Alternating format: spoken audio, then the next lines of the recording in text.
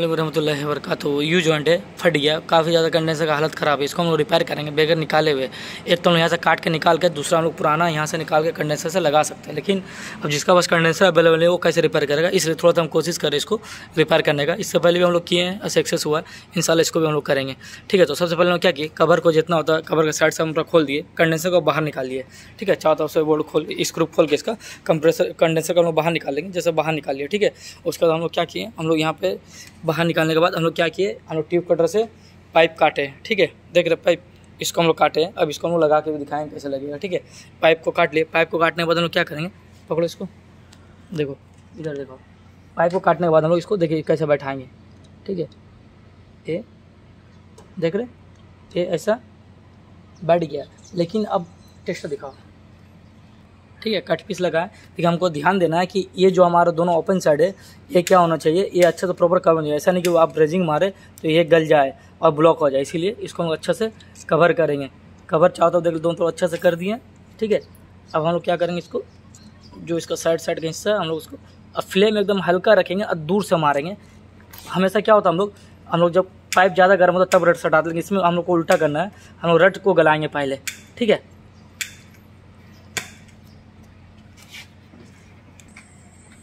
अब अब अब हम लोग इसको, देखिए हमेशा क्या होता है, हम जब भी वेल्डिंग मारते हैं तो हम लोग पहले पाइप को गर्म अच्छे से होने देते हैं, लेकिन इसमें हम लोग को उल्टा करना है।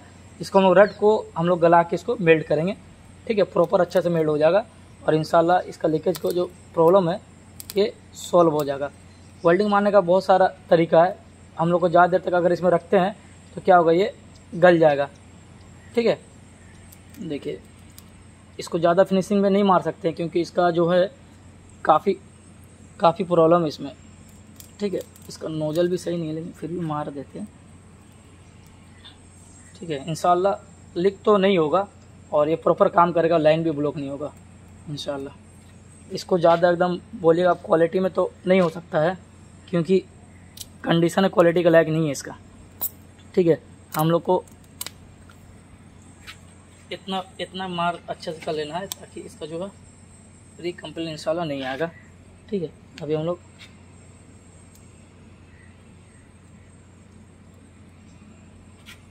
चारों तरफ़ से अच्छा सा मार लेना, ताकि कहीं से लीक का कोई गुंजाइश ना हो।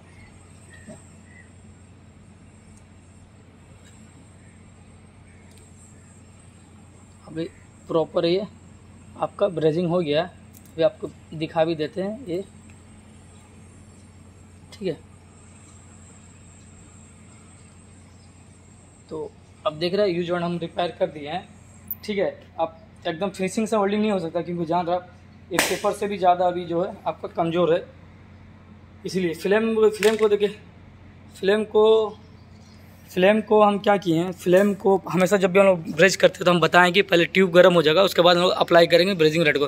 लेकिन यू जॉइंट पे उल्टा है यू जॉइंट पे क्या होगा? हल्का ट्यूब गर्म होते साथ हम लोग क्या करेंगे? रेड को अप्लाई करेंगे, ताकि क्या होगा? राई रेड मेल्ड होकर ये प्रॉब्लम सॉल्व हो जाएगा इन अभी हम लोग इसको टेस्ट करेंगे प्रेशर डाल के।